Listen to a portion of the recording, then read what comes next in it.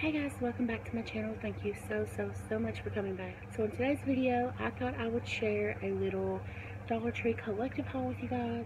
I've actually been collecting a bunch of this stuff for a few weeks. Most recent things I have found at the Dollar Tree. My Dollar Tree hasn't had a lot.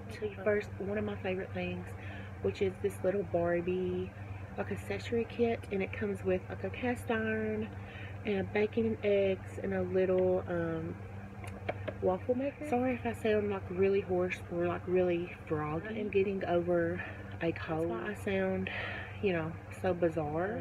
But yeah, this is really cute. These are a really good deal. This would be really cute for a little girl in their stocking this Christmas. They had all kinds. I have a few of the clothing, but the ones that I seen were open. This one's really cute, and this would go perfect with my Ree Drummond Barbie that I have. It has this cute mask. For some reason, it reminds me of Fifty Shades of Grey, a second movie where they wear like the masquerade ball mask. Should be still floating around your Dollar Tree for Halloween. Really so it's super cute you guys.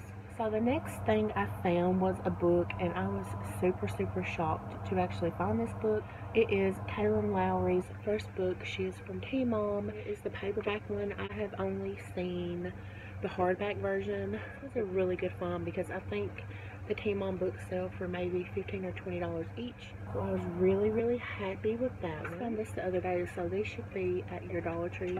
It is kind of like a decor bucket and it says pumpkin spice and everything nice season and it's it's huge. They have different um, sizes of these and different designs but this was the only one that I could find it's really really cute you can put flowers or anything in it found Forky, the Toy Story 4 figurine. That completes my entire set that I have found from the Dollar Tree. He is so cute. I have not opened him yet. This is like a little um, change purse to go in your keychain. It says unicorn. It's super cute. So it's a banner and sorry if it's like wadded up a little, but it's about I'd say six feet. So cute. I have another one that I actually bought from the Dollar Tree. But this one was a quarter because it was already open. It did not affect, you know, anything. There's nothing wrong with it. Yes, they couldn't sell it for full price. But it's so cute. And it's got the pumpkins and bats and ghosts. It is so cute. I have been looking for for a while. I have not seen this particular item at my Dollar Tree. I found this this one um, like a town over and it is the wishing jars. And this is like a mason jar and it's got like the lid and it says wishing jar add your wishes or messages to the wish jar. They make super cute gifts a kind of like a chalkboard tag and it says the same thing as the top. Find these, I would definitely pick a few up. These are really hard to find. Like I said, I have not seen these at my Dollar Tree yet. And there wasn't that many when we got these.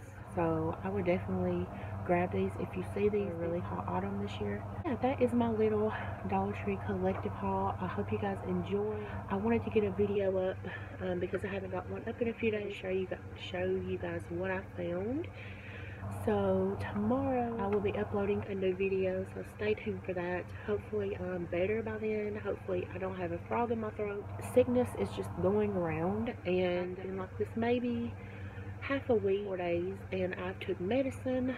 So I'm just trying to avoid going to the doctor at all costs. Hope you guys are having a great day and it's officially been one week since my puppy had surgery so the time is flying. So I hope you guys are having a great day. I'll talk to you tomorrow's video.